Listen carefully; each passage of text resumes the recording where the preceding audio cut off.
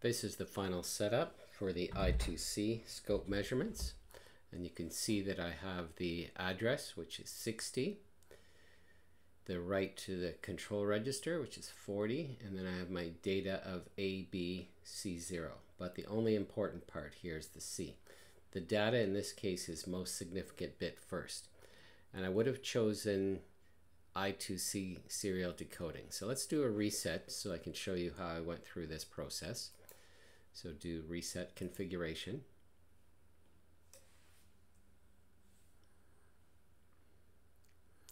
Okay, and this is probably what you're going to see. It's a little bit of data with a lot of time high, and we're going to trigger on that information.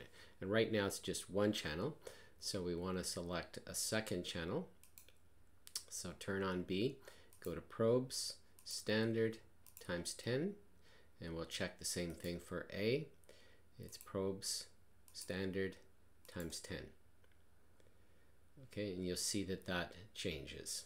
The next thing we want to do is change the time base because our clock cycles are uh, 100 kilohertz. So I'm going to change the time base to say maybe 100 microseconds per division for now or 50 microseconds per division. I'm going to change the trigger Right now it's just triggering on a, a, simple edge and I'm triggering on channel A. So you are getting a trigger once in a while, but not very often because you have such uh, a high amount of high time. But the, the little glitch I've noticed here is that until you move this threshold at least one time, it doesn't show a threshold point or it shows it way up here. Okay. Not sure why it starts off that way, but seems to be a, a bit of a glitch. So I'm bringing it down to 2 volts, and now I'm at least getting some sort of trigger, but not the best. So uh, the way I can change things to get a better trigger is I'm going to change to a different type, and pulse width seems to be the best for a lot of the serial decoding. But I wanted to start here at the 20%, so I'm going to change that to 20. Now you can see it trigger here, but it's still not triggering great but we do have a long time high. So what I'm going to do is uh, select positive pulse duration, so that's the time high, and it's going to be greater than, and I'm going to select maybe milliseconds here, maybe 10 milliseconds. I know there's a faster way of doing this, but okay. So now it seems to be triggering very well on that falling edge after a long amount of time high. So that's going to be helpful when we do our serial decoding. So we're going to turn on the second channel, which is B. Go to probes, standard times 10, and our vertical is set for plus and minus 10 volts.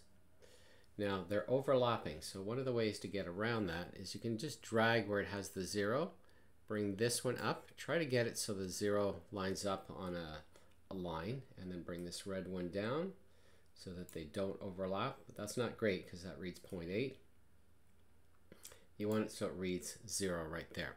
And you can see the red line is from 0 to about 5 volts. The blue line, the vertical setup is right here.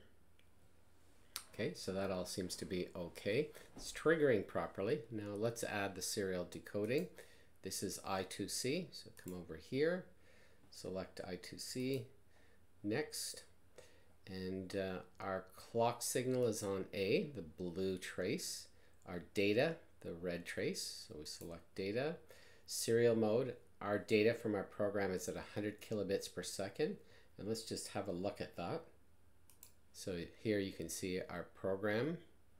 It does not indicate the speed here, but it is standard uh, speed for this interface on the Arduino. So back to our program, this is the first step. So data on B, clock on A, bus speed 100 kilobits per second, then select next. And here we want hexadecimal in both the graph and the table. The table is going to be down at the bottom and then select finish. And I'm just going to drag this, oops, not that one. I want that to be at zero again. I'm going to drag this line so it sits about in the, the middle here. And so this is our I2C serial decoded data, but we're in triggering in auto mode, I believe. Yes. It's auto mode. I'm just going to run continuously. And it's updating. And our table is down at the bottom.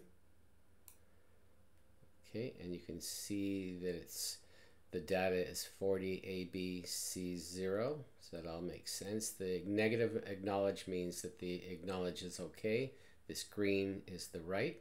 So here's our address of 60, our data 40, or, or sorry, the register that we want to write to or update is 40, and our data is ABC0.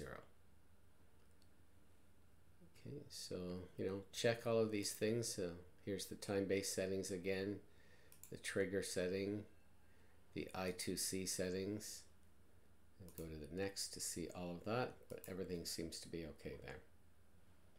So stop that.